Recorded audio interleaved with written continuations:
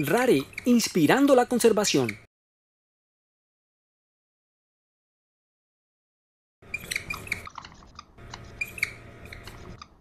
¿Preocupado por la conservación de sus bosques y fuentes de agua en su cuenca? ¿Nuestras acciones afectan la conservación del agua y biodiversidad? ¿Cuál es nuestro rol frente a temas de conservación? Una pregunta común que nos hacemos es, ¿cómo podemos contribuir e involucrarnos para la protección de estos recursos? Un mecanismo que nos ayuda con esto es el ARA. ¿Y qué es ARA? ARA, por sus siglas, significa Arreglos recíprocos por el agua.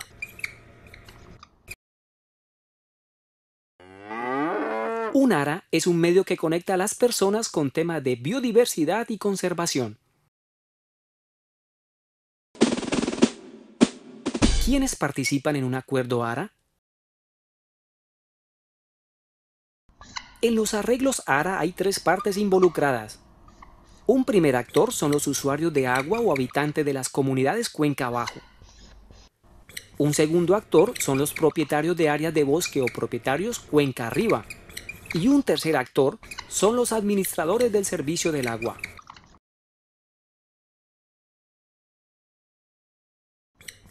Los usuarios de agua son sobre todo aquellos habitantes de pueblos y ciudades que hacen uso del agua, de nacimientos y quebradas de un bosque cercano, para beber, lavarse las manos, lavarse los dientes, bañarse, cocinar, lavar ropa, limpiar la casa, descargar la cisterna, regar un jardín pequeño, lavar el carro, regar los cultivos, criar animales, fabricar productos y muchas más acciones.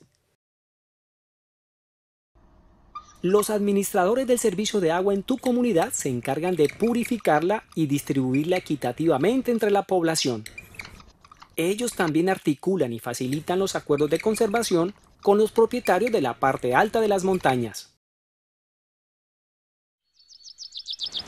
Los propietarios de los terrenos de las partes altas de las cuencas son las personas que están directamente relacionadas con el uso y conservación de los bosques y páramos que son las fábricas de agua de nuestro planeta.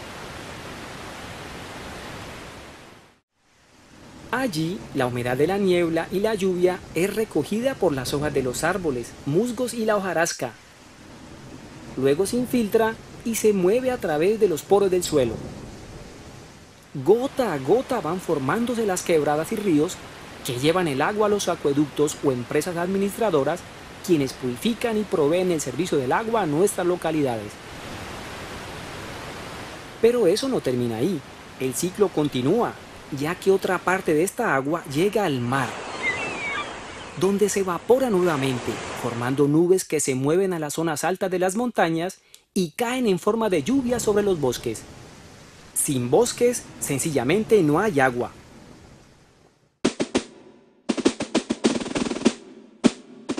¿Cómo se construye un acuerdo ARA? El ARA comienza con la participación de los usuarios del servicio de agua como tú o yo, que vivimos en una comunidad, contribuyendo con aportes económicos a un fondo local de conservación. Estos aportes se hacen llegar a través de las planillas o recibos del agua, o algún otro mecanismo que resulte viable para otro tipo de entidades usuarias de agua. Estas aportaciones son administradas entonces en un fondo local a través de una cuenta bancaria especial, cuyos recursos se destinan para facilitar incentivos y compensaciones a los propietarios de la parte alta de las cuencas hidrográficas, como asistencia técnica, equipamiento, insumos, la exención de impuestos y la mejora de servicios de salud o incluso apoyos para comenzar actividades alternativas o complementarias que reduzcan la presión sobre el uso de los bosques. Todo esto a través de un proceso de negociación con cada uno. La condición para los propietarios que aceptan participar en un acuerdo ARA es que se comprometan a conservar aquellas áreas de su propiedad cubiertas con bosque y páramos, a restaurar ciertas áreas de importancia hídrica como los márgenes de quebradas y también a realizar mejores prácticas productivas. Gracias a esto, los usuarios del agua de las comunidades o ciudades tienen mejor calidad y cantidad del agua a lo largo de los años. Es así como se llega a un acuerdo ARA. Aunado a esto, los administradores del servicio, municipios, empresas o cooperativas de agua, se ven fortalecidos en su trabajo por la toma oportuna de decisiones y generación de resultados concretos que les permite tejer confianza con sus usuarios. También el impacto del ARA se demuestra al mejorar la condición de ecosistemas reguladores de agua y por tanto de las muchas especies amenazadas y endémicas que viven en esos lugares. Entonces, ¿qué tendría que hacer el acueducto o empresa encargada de administrar y mantener el servicio de agua? Llegar a un acuerdo con los propietarios. Sí, pero ¿cómo? ¿Qué lo regularía? ¿Cómo funcionaría? ¿Cómo se obtendrían los recursos? Es ahí cuando entra un acuerdo ARA. Para que un ARA funcione se requieren de tres aspectos claves. Primero, institucionalidad local para facilitar la administración, ejecución, seguimiento y evaluación de los acuerdos.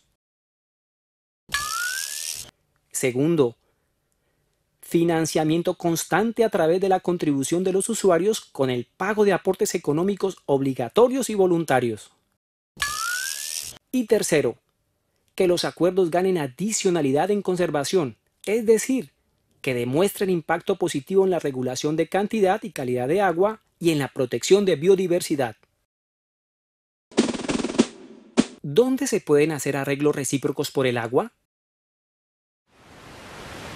En casi cualquier lugar con cercanía a bosques productores de agua y páramos reguladores de agua, en donde se estén desarrollando prácticas inadecuadas que amenazan la integridad de estos ecosistemas y en donde los habitantes de la comunidad quieran generar un cambio de comportamiento para contribuir con la conservación de estos recursos naturales.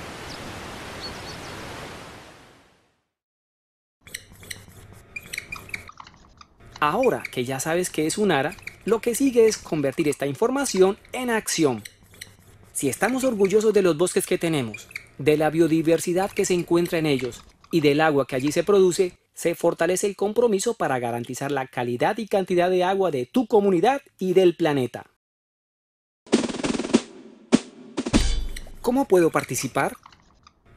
Debes acercarte a tu municipio, acueducto, empresa de agua o asociación de la cual eres parte para consultar si existen iniciativas para generar un esquema de reciprocidad como el ARA.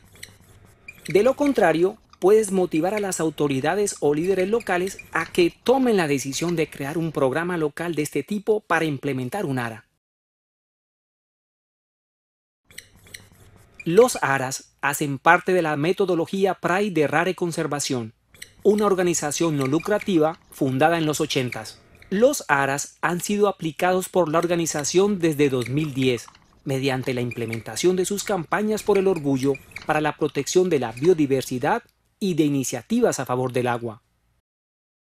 Si requieres más información y asesoría técnica, no dudes en contactarnos a contacto rareconservation.org o a la página www.rareconservation.org.